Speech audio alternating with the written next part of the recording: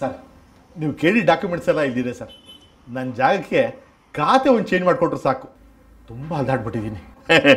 Documents ಎಲ್ಲ ಇದೆ ಬಿಡಿ. ಆದ್ರೆ ಆ ಸರ್ಟಿಫಿಕೇಟು ಆ ಸರ್ಟಿಫಿಕೇಟು ಈ ಸರ್ಟಿಫಿಕೇಟ್ ಈ ಸರ್ಟಿಫಿಕೇಟ್ ಸರ್ಟಿಫಿಕೇಟ್ ಬೇಕು. ಕಾಪಿಗೆ. ಏನಿಲ್ವಾ? ಮತ್ತೆ? ಏನಿಲ್ವಾ? ಏನಿಲ್ವಾ?